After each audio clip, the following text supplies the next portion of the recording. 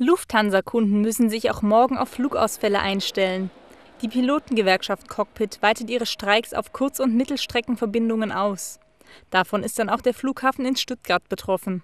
Laut der Vereinigung sollen auch alle Flüge bei der Lufthansa-Tochter Germanwings bestreikt werden, die zum Ziel haben, Lufthansa-Flüge zu ersetzen.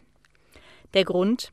Cockpit wirft Lufthansa vor, Arbeitsplätze in in- und ausländische Unternehmen ohne Tarifbindung auszulagern. Strittige Tarifthemen mit der Fluggesellschaft seien auch die Gehälter und die einseitig von Lufthansa gekündigten Übergangs- und Betriebsrenten. Die Fluggesellschaft will jetzt gerichtlich gegen die Streiks vorgehen und diese mit einer einstweiligen Verfügung stoppen lassen.